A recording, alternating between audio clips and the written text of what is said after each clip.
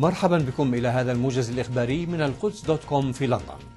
الناطق باسم الرئاسة الفلسطينية نبيل أبوردينا يرفض تصريحات المرشح الجمهوري للرئاسة الأمريكية ميت رومني التي قال فيها إن الفلسطينيين غير جاهزين للسلام. وقال الناطق أبوردينا إن ادعاءات رومني لن تخدم عملية السلام وإنما ستعزز أصوات التطرف الرافضة للحل.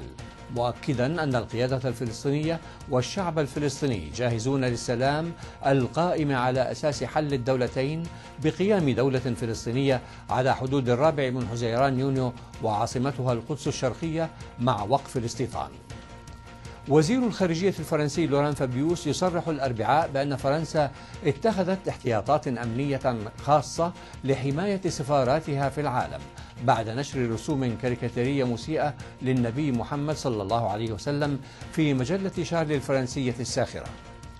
وقال فابيوس أن نشر الصور المسيئة إلى النبي محمد في الوضع الراهن بعد الفيلم السخيف وشريط الفيديو العبثي الذي تم بثه يصب الزيت على النار.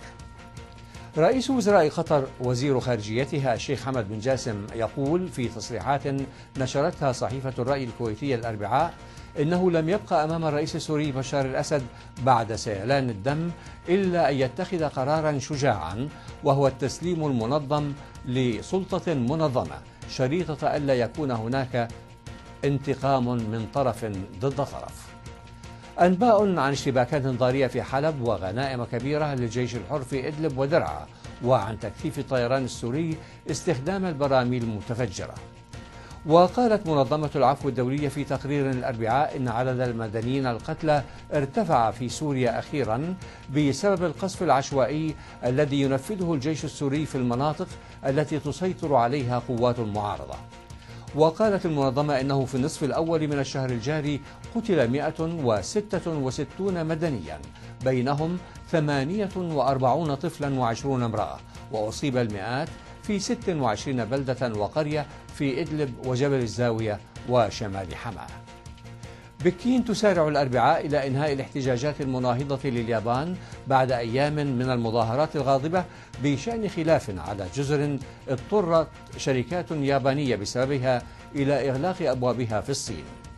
وقد سعى وزير الخارجية الأمريكي اليوم بانيتا خلال زيارته الحالية للصين إلى تهدئة مضيفيه الصينيين بشأن مسألة الجزر. واجتمع مع الزعيم الصيني المنتظر شي جين بينغ الذي ظهر بعد أن كان قد اختفى عن الأنظار لمدة أسبوعين. وزراء خارجية القوى العالمية وكبيرة مفاوضيها يجتمعون الأسبوع المقبل ليحاولوا التوصل إلى كيفية الخروج من الوضع المتأزم في المفاوضات المتعلقة بالبرنامج النووي الإيراني بعد محادثات الثلاثاء لم تسفر عن تقدم. وقد أكد مرشد الثورة الإيرانية علي خامنئي الثلاثاء أن الجمهورية الإسلامية تتخذ قراراتها فقط وفقا لمصلحة الشعب والبلد حتى وإن أثارت قراراتها غضب الدول العظمى في العالم.